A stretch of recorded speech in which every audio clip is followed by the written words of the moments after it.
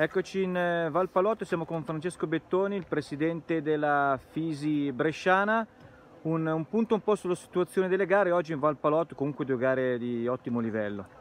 Sì, noi siamo fortunati e privilegiati, abbiamo la possibilità di avere eh, gli impiantisti che collaborano con noi e quindi anche in maniera antieconomica tengono aperti gli impianti. Oggi siamo in Valpalotto, condizioni stupende, eh, gara ieri bella, oggi bellissima, una bella giornata eh, abbiamo anche degli sci club che si stanno adoperando per organizzare queste manifestazioni e oggi sappiamo che tipo di sforzo sia.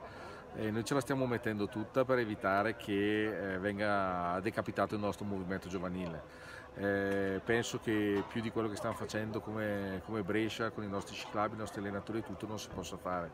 Siamo molto contenti, io sono molto contento personalmente di, di, del movimento, eh, speriamo che questo frutti nei prossimi anni.